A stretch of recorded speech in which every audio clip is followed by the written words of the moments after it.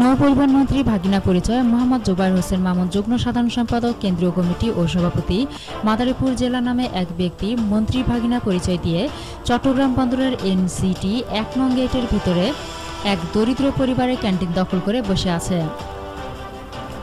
মামুনের সাথে একাত্তর বাংলা টিভি রিপোর্টার ফোনে কথা বললে তিনি বলেন, আমি শাহজাহান খানের ভাগিনা।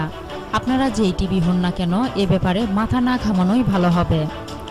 এই দোকানের মালিক জাহাঙ্গীর আলমের কাছ থেকে প্রায় সাত লক্ষ টাকা হাতিয়ে নেয় এই মামুন সহ আরও অনেকে। তার সাথে যুক্ত আছেন মোহাম্মদ কামাল হোসেন ও জাকির হোসেন নামের আরও এক ব্যক্তি। কামালের সাথে কথা বললে তিনি বলেন, এ ব্যাপারে আপনারা নাক গলায়েন না, কারণ এসবের সাথে জড়িত আছে বড় বড় নেতারা। তার কাছে নেতাদের নাম জানতে চাইলে সে বলতে রাজি নন। পরে কামাল বলেন, এখানে স্থানীয় এমপি আব্দুল লতিফ ও ব্যারিস্টার কলেজের ভিপি খোকনও জড়িত আছে। ক্যান্টিন মালিক জাহাঙ্গীর ও তার স্ত্রী জান্নাতুন ফেরদৌস ওইসব আওয়ামী লীগ পরিচয় লোকদের কিছু বললেই জানে মেরে ফেলা হবে ও মারবে, কাটবে বলে হুমকি দেয়। জান্নাতুল প্রথমে বন্দর থানায় গেলে মামলা নেয়নি। পরে আবার কি বুঝে একটা অভিযোগ নিয়েছে বন্দর থানা কর্তৃপক্ষ।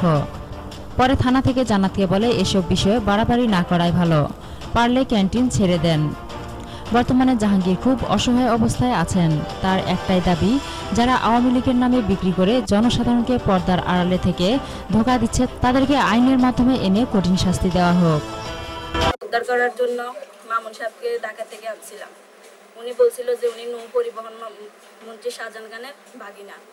তখন আমি আমার ব্যবসার বাবদে ওনাকে আমি লক্ষ লক্ষ টাকা দিয়েছি যেন আমি ব্যবসাটা ফিরে পাই।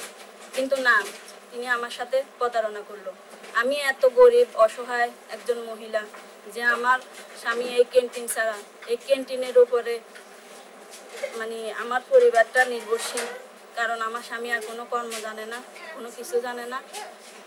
ওনাকে নিয়ে আসছিলাম দোকানটা উদ্ধার করে দেওয়ার জন্য। কিন্তু উনি দোকানটা উদ্ধার করে না দিয়ে আমার টাকা পয়সা সব খেয়ে এখন আমাকে হুমকি দিতেছে, বলতেছে, আমি যদি টাকা পয়সার কথা বলি, তাহলে আমাকে দুদকের মামলায় জড়াবে।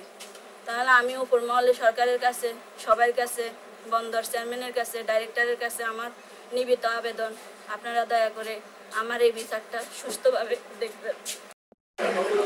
আমরা এখন কথা বলব দোকানের প্রকৃত মালিক জাহাঙ্গীর আলমের সাথে। বলেন আমরা শুনতে চাচ্ছি। হ্যাঁ, আপনার নাম? মোহাম্মদ জাহাঙ্গীর আলম। ছবি দোকানটার ব্যাপারে একটু কিছু বলেন। দোকানটা নিয়মরি নিরাপত্তা ক্যান্টিন মন্ত্রী চট্টগ্রাম বন্দর নিয়মরি নিরাপত্তা ক্যান্টিন বন্দর পরিচালনায় নিয়মিত তিন বছর ক্যান্টিনটা আমি করে আসছি। সাধারণ একজন নিরাপত্তা অফিসার আমাদের মৌখিকভাবে নির্দেশ দিচ্ছে উনি দোকানটা আবার এক মাস বন্ধ রাখো আমি রাখতেছি। আমি অনেকে সম্মান করলাম। অনেকে সম্মান করলাম আমার অভিযোগ উনি আমাকে বলল যে কোনো সময় যদি অভিযোগ থাকে তুমি ডাইরেক্টর কাছে যাও। আমি কাছে সরাসরি গেলাম। ডাইরেক্টর আমার উপদেশটা দিলে দেখি তোমরা কিছুদিন অপেক্ষা করো। অপেক্ষা করার পরে আবার দুই দিন পরে আমি গেলাম। দুই দিন পরে ডাইরেক্টর আমাকে অনুমতি দিল দেখি তোমরা দুইজন চব্বিশ ঘণ্টা তোমাদেরকে সময় দেওয়া হয়েছে, তোমরা দুজন সিদ্ধান্ত নাও। তোমরা কীভাবে করবা? তোমরা নিজেরা নিজেরা বসে নাও। তখন উনি দীর্ঘদিন উনি ঢাকা চলে গেছে। ঢাকা চলে যাওয়ার পর আবার আসলো। আসার পর আমাদের প্রশ্ন করল দেখি আমি তো চলে যাব নতুন ডাইরেক্টর তোমাদেরকে আসতেছে? মন্ত্রী মহাজ তখন আমি রিপ্লাই আবার আরেকটা দরখাস্ত করলাম। দরখাস্ত করার পরে নৌ পরিবহন মন্ত্রী শাহজাহান খানে সাইন করে দেয়। তার সিদ্ধান্ত মেনে চলি। জোবাই হোসেন মামুকে তখন আমি শো করি। শো করার পরে ডাইরেক্টর মন্ত্রী মহাজের ডাইরেক্টর কর্নেল আব্দুল গাপ্তারের আছে। যখন আমি শো করি, উনি আমাকে যেভাবে পথ দেখাচ্ছে, আমি সেভাবে যাচ্ছি।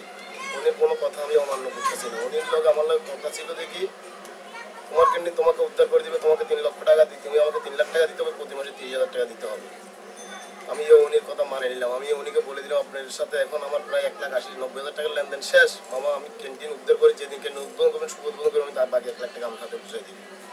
উদ্বোধনের দিন আমি ক্যান্টিনে ছিলাম, উদ্বোধনের দিন ছিলার পরে আমার সেই প্রায় চলতে চলতে প্রায় ছ সাত মাস পরে আমার থেকে ঠাস করে আমার ব্রেকফাস্টটা আইডিটা বন্ধ করে দিই বন্ধ করে দেওয়ার পরে উনি আমাকে বলে দেন, মামা, দোকানে অনেক ঝামেলা আছে, আমি ঝামেলাগুলো সব করে দিই, আমি তোমার নিয়ে তোমাকে হ্যান্ড ওভার করে দিই।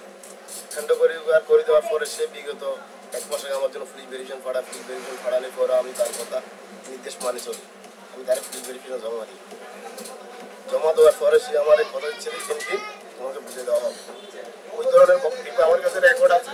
কিন্তু আমার সাথে সব আমার কাছে প্রত্যাহার করতেছে প্রতারণা করি আমার থেকে সাত লক্ষ টাকা প্রায় ক্যাশ অনাধারের মতো নিয়ে চলে গেছে। কিন্তু আমি সবাইকে ভুল বুঝতে দিই না। আমি ডাইরেক্ট মন্ত্রী মহাদের কাছে যাইতে চাচ্ছি না।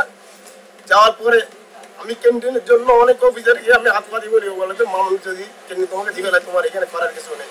মামুন আমাকে ক্যান্টিন আজকে দিচ্ছে, কালকে দিচ্ছে, ক্যান্টিন কিন্তু দিচ্ছে না। আমি আমি মামুনের প্রধানমন্ত্রীর কাছে এবং মুখ্যমন্ত্রী শাহাদার কাছে বন্ধ চেয়ারম্যান কাছে, কল্যাণ ডাক্তার আব্দুল গাব্বারের কাছে আমি নালিশ চাচ্ছি। আমি আর উপরে লেভেল যাতে চাচ্ছি না। এটার জন্য আপনাদেরকে অসংখ্য ধন্যবাদ, আমি আর কথা বলতে পারতেছি না। আমরা চাই এরকম অসহায় ফ্যামিলির যেন সবাই যেন সহযোগিতা পায় বাংলাদেশ সরকারের কাছে। আর যারা আওয়ামী লীগের নাম বিক্রি করে এভাবে প্রতারণা করছে, তাদের জন্য দৃষ্টান্তমূলক শাস্তি হয়। এটাই সরকারের কাছে আমাদের প্রত্যাশা এবং কি আমাদের দায়িত্ব, কর্তব্য।